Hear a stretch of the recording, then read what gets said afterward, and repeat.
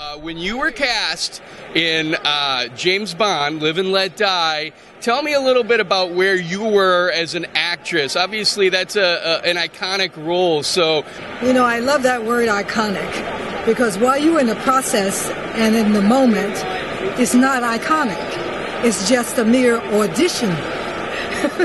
and all you know is your agent calls you on the phone and says, Here I am in California for the first time. I was here for about, oh golly, probably a couple of months, and says to me, Gloria, my manager in New York, you need to come back here and audition for Harry Saltzman for Bond for a Bond film. I said, You gotta be kidding me. I said, I'm not tall, I'm not blonde, I'm not big busted. I said, Why did they want to see me? He said, Gloria, they want to see you. I said, You mean to tell me I have to fly on my own dime? He said, Yes. I said, Listen, I have to really crunch my numbers. I got to figure this out because in most auditions you don't get, right? So I said, Let me figure it out. So I called him back and said, Okay, I give.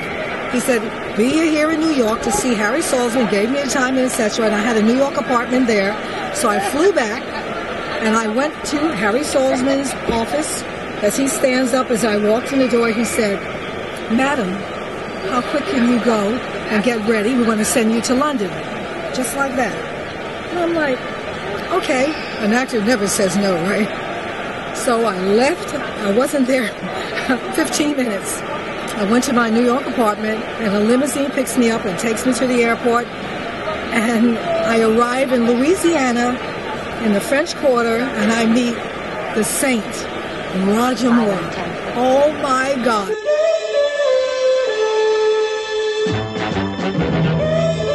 Said, hold it together, girl, hold it together. And I meet Guy Hamilton. And they talked to me for a little while, and they said they're still looking. I said, okay. And they said, how would you like to stay for the weekend? And would you like to go to the set? I went to the set, but I said I'd like to go back home. I flew back home to New York. From New York, I took the next plane to California. Two weeks later, my agent told me, You got it. I said, You're kidding me. And that was it. He said, go and get your gamma globulin shot and your passport, because I never had a passport, and off to Louisiana, then to Jamaica, then to Great Britain, London. Well, that is the UK today. That was um, all, how many years ago was that? I'm not telling. Can you believe it? I did the eighth bond and today we're going into the 20, and they automatically, they've run out of Ian Flemings.